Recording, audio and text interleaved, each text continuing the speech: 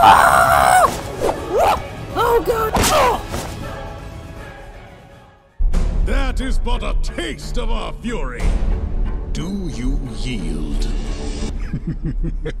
I do not.